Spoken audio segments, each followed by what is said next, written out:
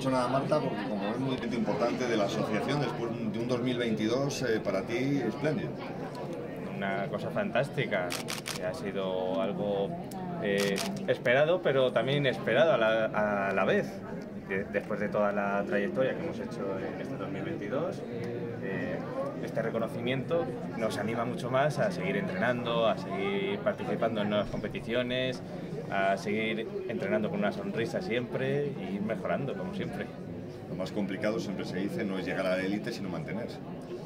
Por supuesto. Eh, cuando estás arriba, todo el mundo quiere ganar al campeón. Por lo tanto, muchas veces hay que sentar los pies en la cabeza y decir, soy el campeón y tengo que continuar aquí, por lo tanto tengo que seguir entrenando, tengo que seguir evolucionando y que no me quieran ganar, exactamente. Este año, ¿qué objetivo está marcado? Eh, ser el mejor internacionalmente, ese es el principal objetivo que me he marcado Vamos a ir a todas las, a todas las competiciones internacionales, eh, las Copas WACO, como las llamamos en kickboxing, y luego el Mundial que se celebra en Italia. Esos son nuestros principales objetivos para este año. ¿Se quiere conseguir esa medalla de oro?